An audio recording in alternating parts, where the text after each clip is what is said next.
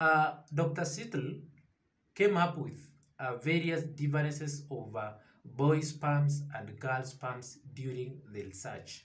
Now, he stated that the boy uh, sperms are faster, you know, to travel than the girl's sperms. Now, the boy sperms, they are smaller than the uh, girl's sperms. Now, the boy sperms takes three days the female productive system.